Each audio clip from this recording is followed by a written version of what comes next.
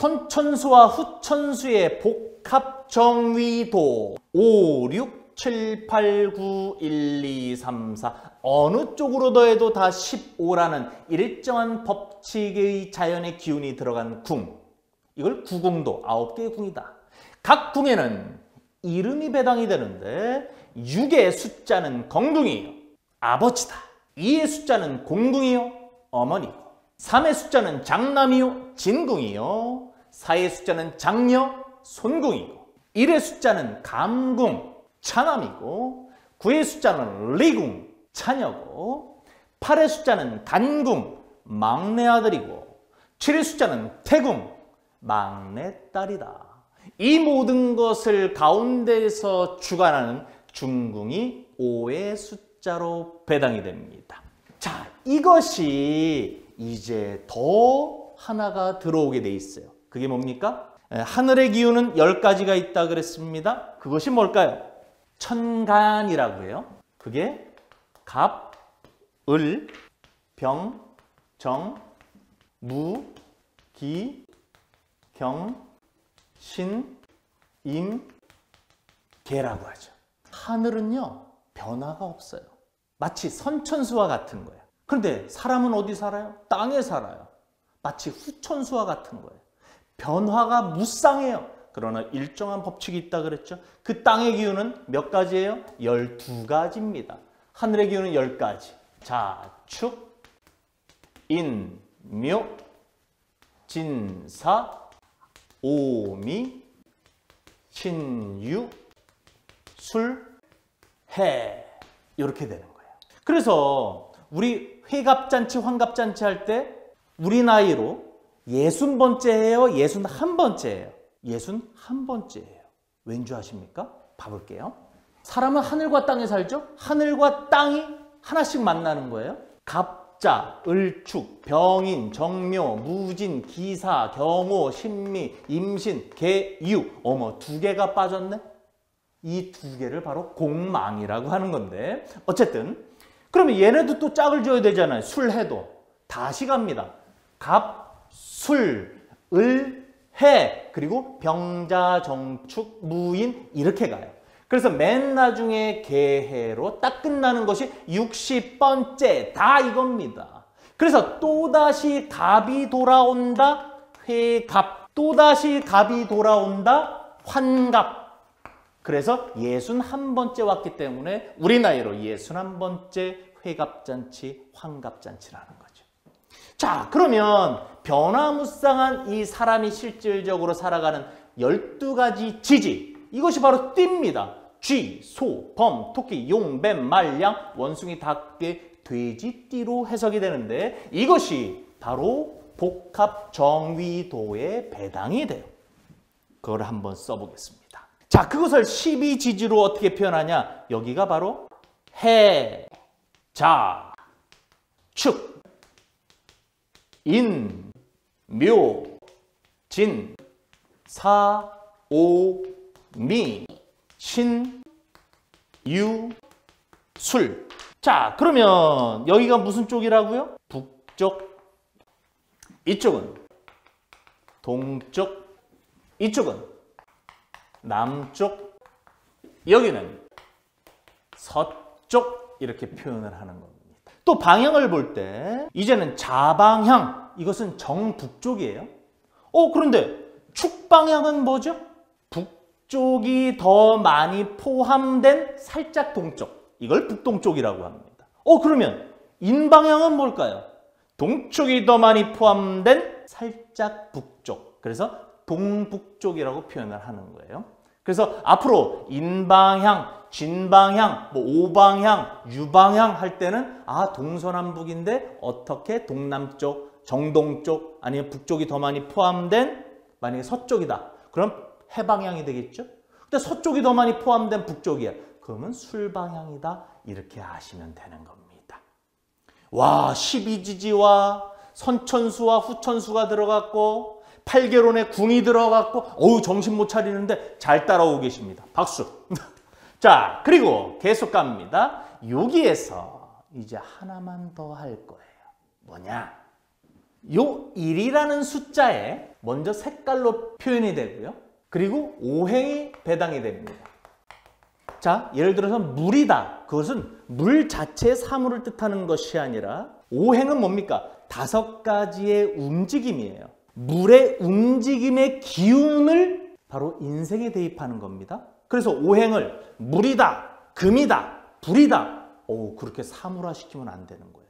그 행이다, 움직임이다, 기운의 연속성이다 라고 해석을 해야 돼요. 그리고 이것들이 합해져서 하나의 별을 이루었다.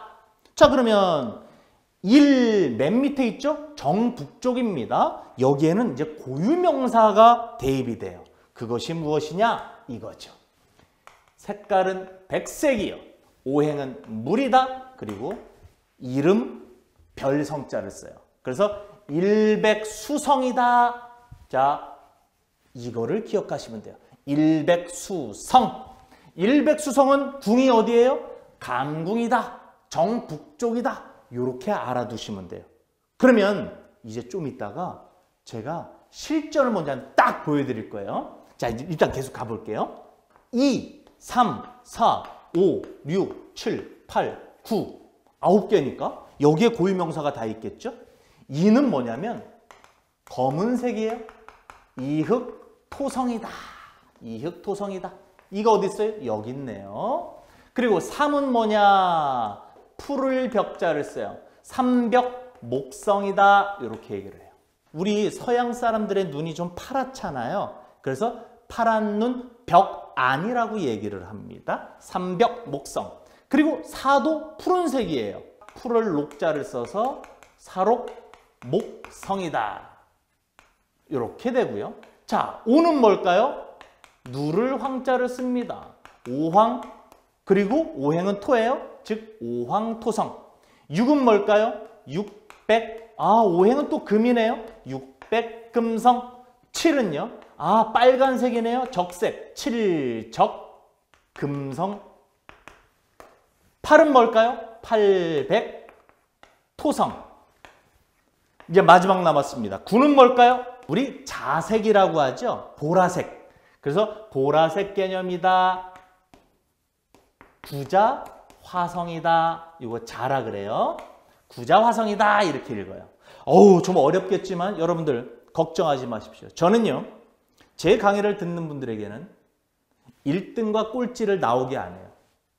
반드시 다 1등으로 만들려고 합니다. 그러니까 앞으로 2강, 3강, 4강 듣다 보면 지금 말씀드리는 이 내용들은요. 아, 그냥 음, 그래 그래 그래. 그냥 알게 되는 거예요.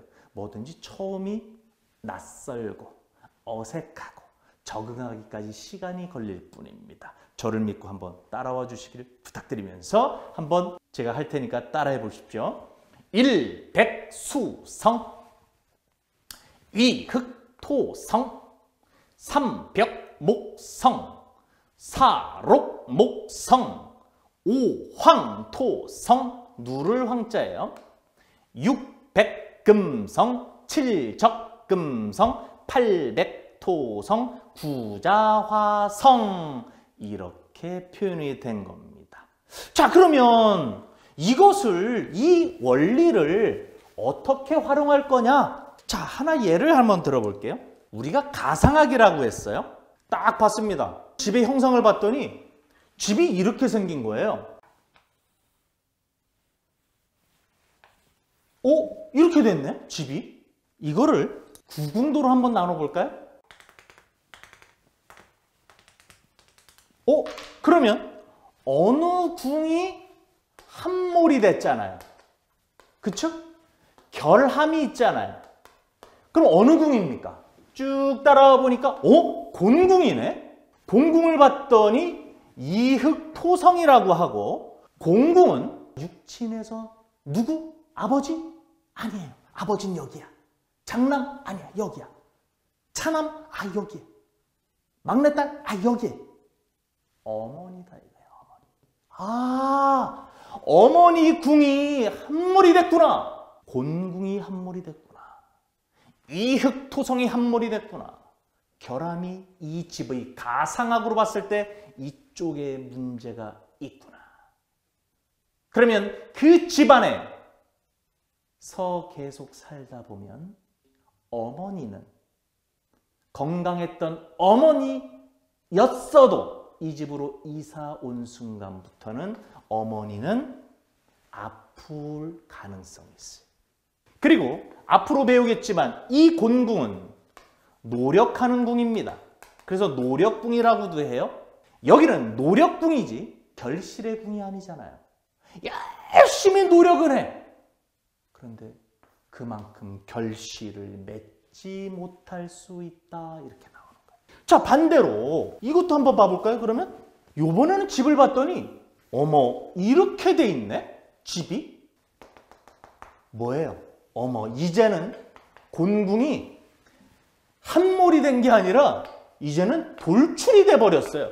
이건 또 어떻게 해석할까요? 어머니가 힘이 없는 것이 아니라 어머니가 너무 파워풀해.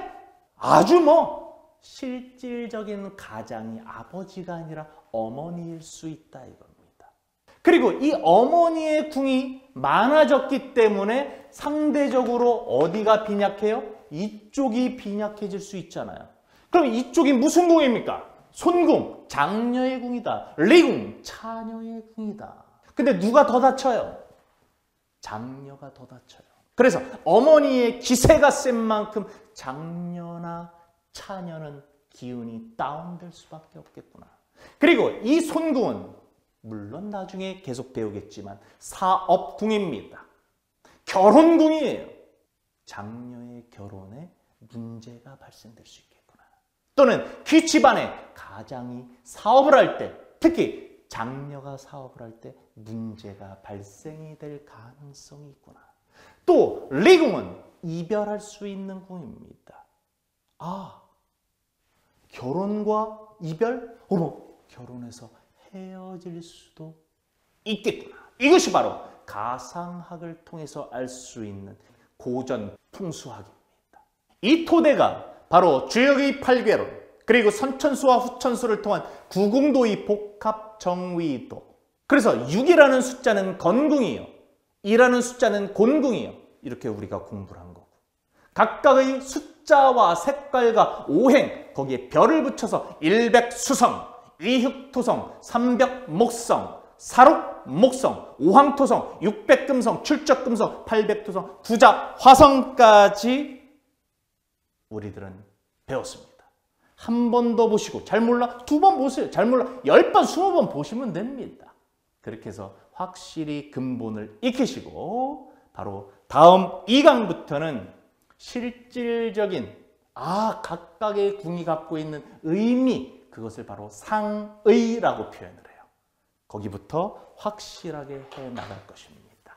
그래서 이 양택풍수의 핵심 가상학 그리고 양택 삼류를 통해서 여러분들은 앞으로 풍수 컨설턴트 프로들이 되실 겁니다.